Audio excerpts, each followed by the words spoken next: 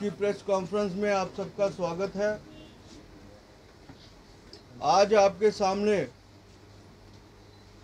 दो अहम मुद्दे आपके माध्यम से जम्मू कश्मीर के लेफ्टिनेंट गवर्नर श्री मनोज सिन्हा जी के आगे रखना चाहता हूँ। अगर सिन्हा साहब ने इसके ऊपर विचार नहीं किया तो जम्मू बर्बाद हो जाएगा। मैं जब आप सबको पता है कि जम्मू के अंदर रिलायंस कंपनी पहला स्मार्ट बाज़ार खोलने लगी है, इसके लिए हमने पहले भी एक साल पहले इसका विरोध किया था और जम्मू बंद किया था।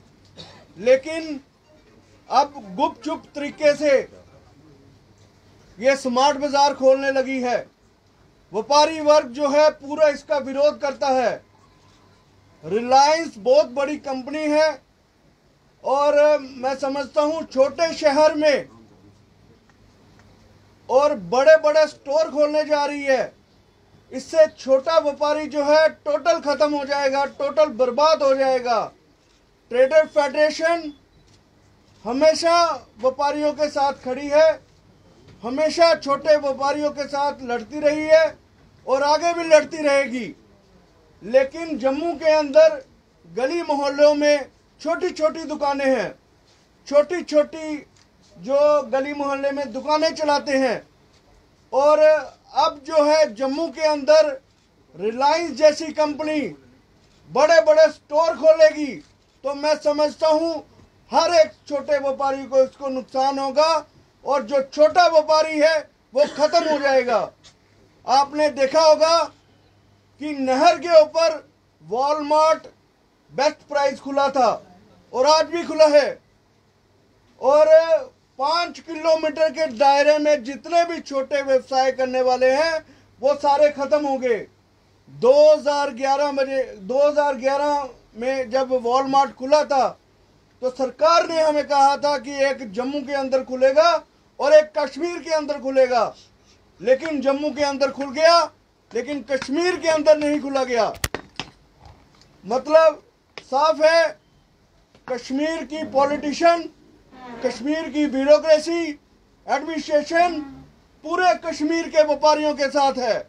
आपने पिछले दिनों देखा होगा, जिस तरह से हमारे कश्मीर के सेब व्यापारी जो है उनको थोड़ी ट्रांसपोर्ट की प्रॉब्लम आ गई। किस तरह से कश्मीर के पॉलिटिशियन और ब्यूरोक्रेसी पूरा कश्मीर से लेके लखनपुर तक रास्ता खुलवाने लग गए? सारे कश्मीर के पॉलिटिशियन एक तरफ़ हो गए। लेकिन जब भी जम्मू के व्यापारियों की बात आती है, जम्मू का कोई भी पॉलिटिशियन जो है, हमारे व्यापारियों के साथ नहीं खड़ा होता। कोई भी एडमिनिस्ट्रेशन जो है, जम्मू के लोगों के साथ नहीं खड़े होती। आज जम्मू का व्यापारी जो है, खत्म होने के कगार के ऊपर है। क्या कारण है कि जो जम, जम्मू की गवर्नमेंट है, जो जम्मू की सरकार है, वो व्यापारियों की बात नहीं सुनती?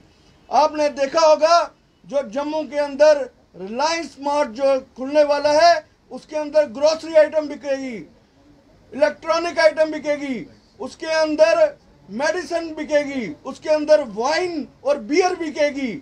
रिलायंस बहुत बड़ी कंपनी है और मैं समझता हूँ बड़े बड़े एयरपोर्ट का काम कर रही है बड़े बड़े गैस पाइपलाइन है, रिलायंस के पास जियो का नेटवर्क है जो पूरे देश और विदेश में काम करते हैं, जो इतनी बड़ी कंपनी है, वो जम्मू के, जम्मू छोटे से शहर में आके आटा, चावल और दवाइयाँ बेचेगी। और क्या संदेश है कि एक बड़ा मगरमच्छ जो है, छोटी मछलियों को पूरा खा जाएगा। और मैं समझता हूँ सरकार को चाहिए कि बड़ी कंपनी जो है, बड़ा काम करे और छोटे लोग जो है, छोटा व्यवसाय करे। इसलिए देश में सरकार की तरफ़ विश्वास पैदा होता है। सरकार के ऊपर उम्मीद जागती है।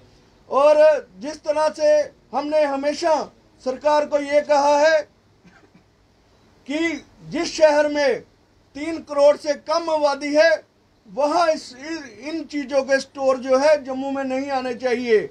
और ऑलरेडी जो हमारा जम्मू है, वो मिलिटेंसी हिट स्टेट है।